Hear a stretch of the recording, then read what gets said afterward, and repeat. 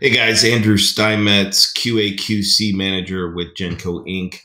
Um, I'd like to begin with a new web series on NEC 2020 code explanation. So, my goal with this is to pick certain codes that possibly uh, need further explanation uh, or explaining to understand it a little bit better and clear so that it will help you out on the field. Um, so look forward to many more videos of certain codes.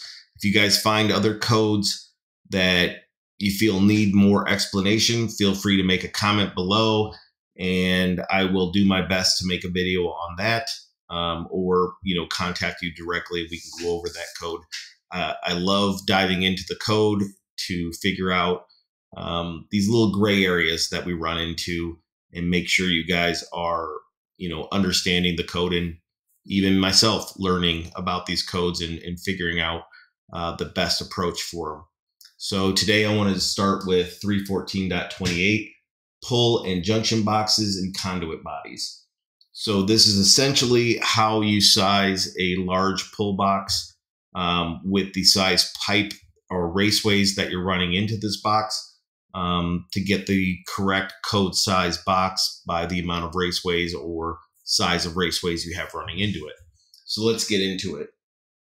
So 314.28 boxes and conduit bodies used as pull or junction boxes shall comply with 314.28a through E. Exceptions terminal housing supplied with motors shall comply with provisions of 430.12 a. Minimum size. For raceways containing, containing conductors of 4 gauge or larger that are required to be insulated, and for cables containing conductors of 4 gauge or larger, the minimum dimensions of pull or junction boxes installed in a raceway or cable run shall comply with 314.28A1 through A3 where an enclosure dimension is to be calculated based on the diameter of the entering raceways. The diameter shall be the metric designator, trade size, expressed in the units of measurements employed. And this is why I really like the NFPA uh, link uh, because it has these enhanced content. Uh, you can find this in when you get the NEC workbook as well. But these are uh, details that they go into that aren't in the normal code book. So they they further explain a lot of these codes, and it really helps uh, to understand them. So enhanced content, section 314.28a addresses raceways or cables that contain conductors 4 gauge or larger and are required to be insulated. One conductor that is not required to be insulated is a grounding electrode conductor a GEC. Thus, where a GEC is installed as a sole conductor within a raceway, conduit bodies used as part of the raceway system are not required to comply with the enclosure dimensions of 314.28a.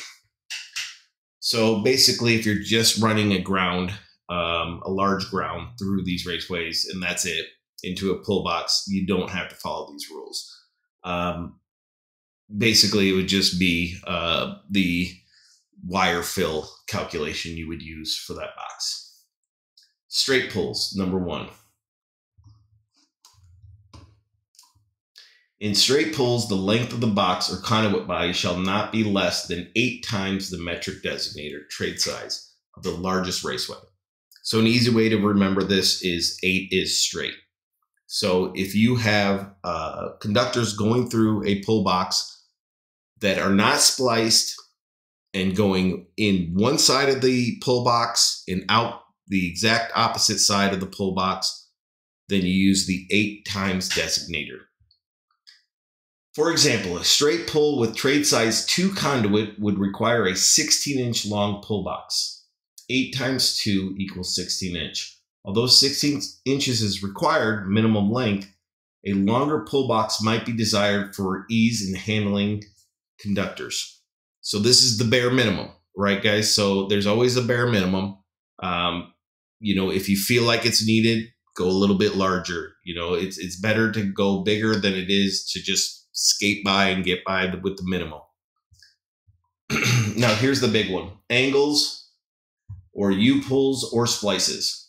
Where splices or where angle or U pulls are made, the distance between each raceway entry inside the box or conduit body and the opposite wall of the box or conduit body shall not be less than six times the metric designator or trade size of the largest raceway in a row.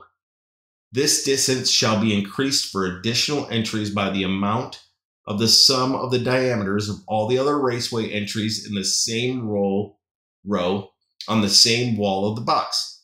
Each row shall be calculated individually, and the single row that provides the maximum distance shall be used. So when you're doing this rule, you take the largest raceway going into the box and you times that by six. And then you choose one of the rows that you're that are going into this box on one side, the same side as the the large raceway that you chose, and you add them into the six times rule. So you would go if it's a two inch, six times two is 12. And then say you have five one inch in that same row, then you add five to 12, and that gives you 17 inches as the minimum that you need for that size. Exceptions where a raceway or cable entry is in the wall of a box or conduit body opposite of the removable cover, the distance from the wall to the cover shall be permitted to comply with the distance required for one wire per terminal in table 312.6a.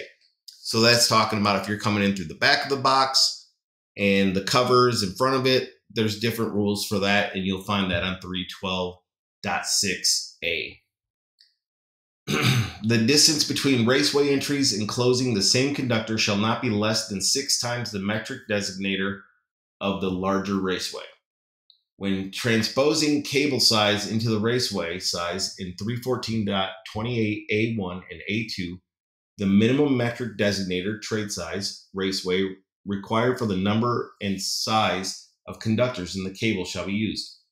So this is talking about the part that most people mess up on. Um, so not only do you have to do this math to figure out the correct box size or pull box, you also have to figure this out from the distance from one raceway, the entryway raceway, to the exit raceway. So the pipe that's coming in, you have to, if let's say it's a two inch, times that by six for the uh, exit raceway, and that those raceways have to be 12 inches apart.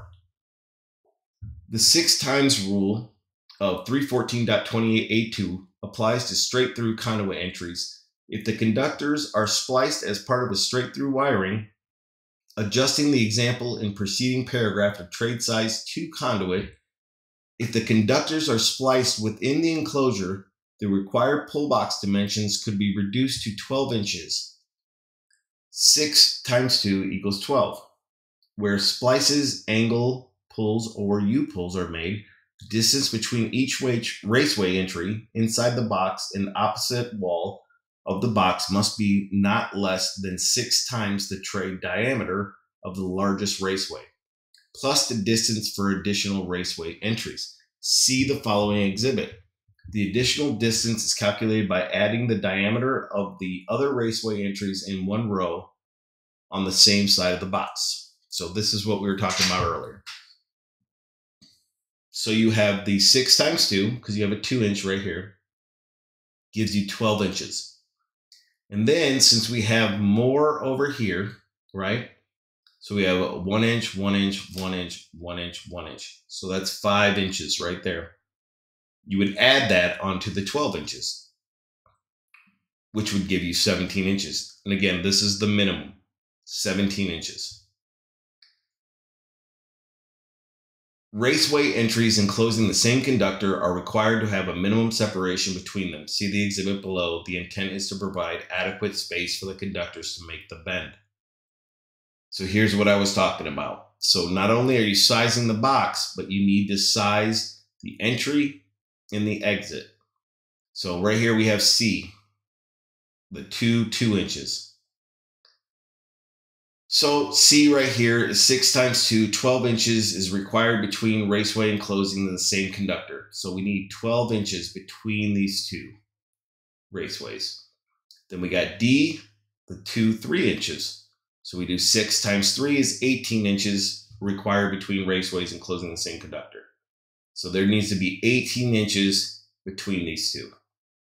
And then we got the 4 inches right here for E, 6 times 4 is 24 inches required between the raceways, closing the same conductor.